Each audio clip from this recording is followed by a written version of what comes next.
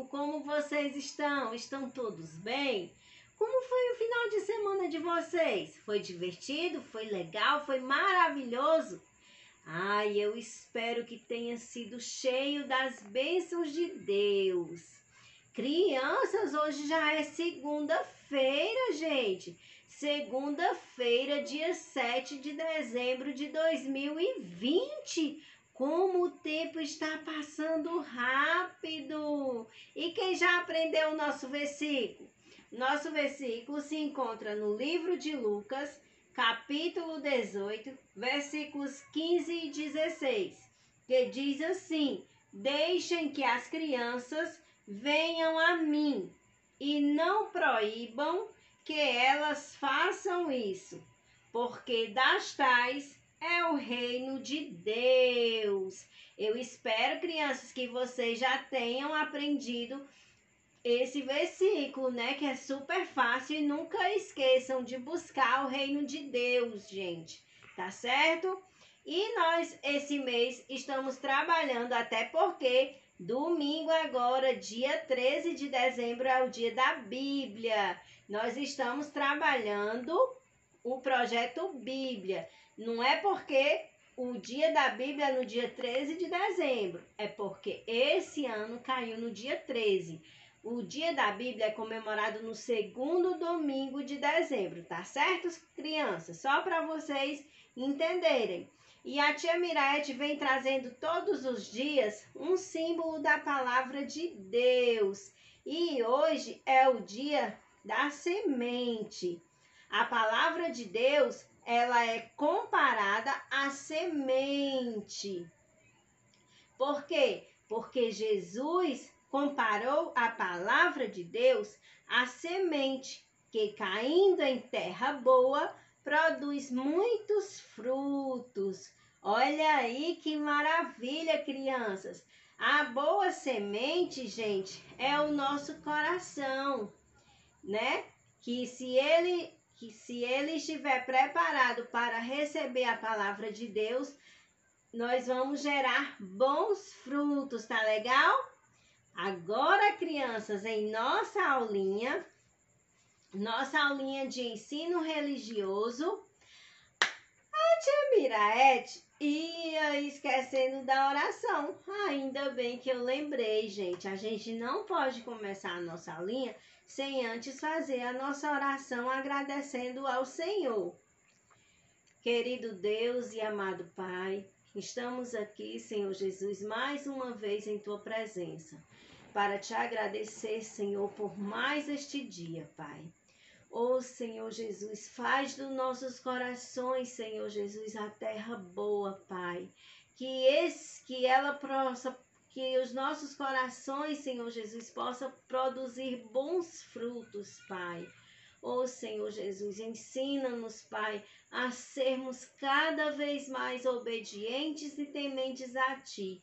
Em nome de Jesus, amém. Amém, crianças.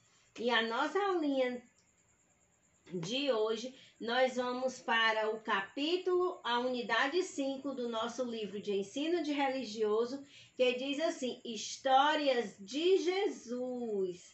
E vamos pra, para a lição 18, que diz assim: A história da sementinha.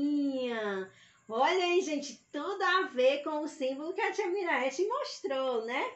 E o versículo que Jesus, que para nossa aulinha, diz assim: Guardo a tua palavra no meu coração. Salmo 119, versículo 11. E a nossa referência bíblica, crianças, para a aulinha de hoje é Lucas capítulo 8, dos versículos 4 ao 8. Vamos lá conhecer essa história? A história da sementinha. Jesus, ele gostava muito de ensinar as pessoas que chegavam perto dele. Um dia, Jesus ensinou as pessoas contando uma linda história.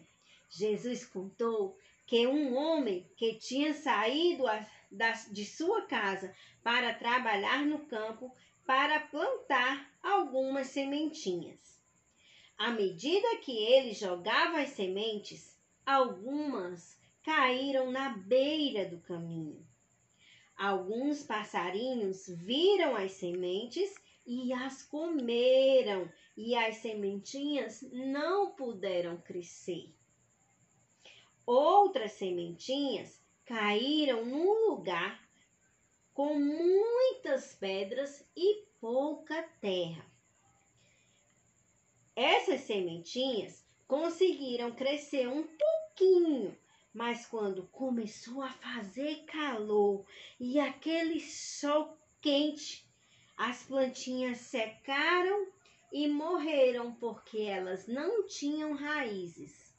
Outras sementinhas caíram no meio dos espinhos e a, no meio dos espinhos as sementinhas conseguiram brotar e viraram plantinhas pequenas, mas logo morreram, porque havia muitos espinhos que as sufocavam.